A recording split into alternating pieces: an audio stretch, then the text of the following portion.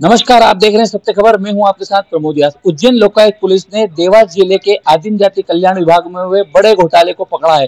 मध्य प्रदेश में पहला ऐसा मौका है जब पाँच दर्जन से अधिक अधिकारी कर्मचारियों पर उज्जैन लोकायुक्त पुलिस ने एफआईआर दर्ज की है। जी हाँ चौपन के लगभग अधिकारी कर्मचारी है, जिन पर घपले घोटाले को लेकर एफआईआर दर्ज की गई है। सत्य खबर से चर्चा में डीएसपी सुनील तालान ने बताया कि देवास में आदिम जाति कल्याण विभाग में एक बड़ा घोटाला हुआ है, जिसकी जाँच की गई थी, जिसमें बताया जा रहा था कि विवेक नागवंशी जिला संयोजक तत्कालीन आदिम जाति कल्याण विभाग के अधिकारी थे, जिन्होंने ठेकेदार को अनुचित लाभ पहुंचाते हुए तीन करोड़ से अधिक का घपला घोटाला किया है और जो छात्रावास की मरम्मत थी निर्माण कार्य था, उसमें एक ही ठेकेदार को लाभ पहुँचाया गया है। कार्य भी अधूरा छोड़ दिया गया और अमानक स्तर का कार्य किया गया है। इस पूरे मामले में हम बात करेंगे डीएसपी सुनील तालान जी से। सर, आदिम जाति कल्याण विभाग देवास में कोई भवन निर्माण को लेकर घोटाला हुआ जिस पर लोकायुक्त द्वारा एफ़ की गई क्या पूरा मामला?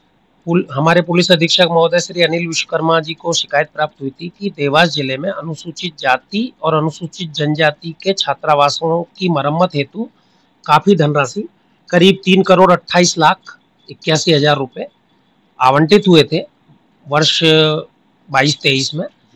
तो वो जिला संयोजक थे वहाँ पर सूर्यवंशी जी।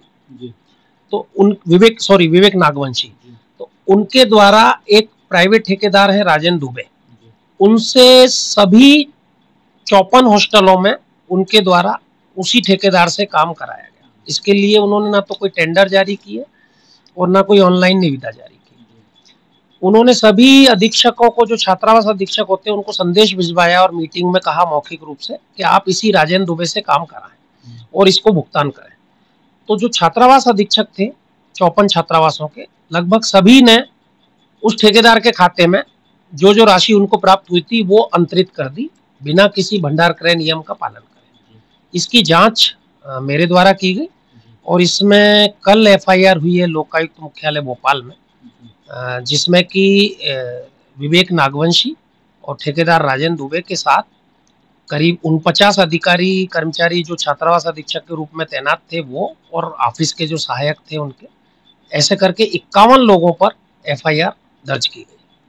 तो राशि की वसूली भी कुछ राशि की वसूली की कार्रवाई ऑडिट में और संबंधित विभाग द्वारा इसमें आवश्यक कदम उठाए जाएँगे। हमारे द्वारा तो इसमें एफआईआर दर्ज की गई है और इसकी अब विवेचना की जाएगी। जो अधूरे भवन निर्माण है वो भी पूरा करेगा देखिए ठेकेदार की जब शिकायत हुई थी तो जाँच सात आठ महीने चली है। इस दौरान ठेकेदार ने काफ़ी जगह पे काम किया भी है। लेकिन चूँकि कार्य पूर्ण नहीं हुआ और उसका कोई मूल्यांकन भी संबंधित छात्रावास अधीक्षकों ने नहीं कराया और प्रक्रिया में भी उन्होंने गलती करते हुए एडवांस भुगतान छात्रावास की मरम्मत राशि का ठेकेदार को कर दिया था, इसलिए इसमें एफआईआर हुई है। कार्य मुझे लगता है कि आधे से अधिक इस समय हो चुका होगा और इस बारे में संबंधित विभागीय अधिकारी उचित निर्णय लेंगे। सत्य खबर, सत्य, सटीक, बेबाक।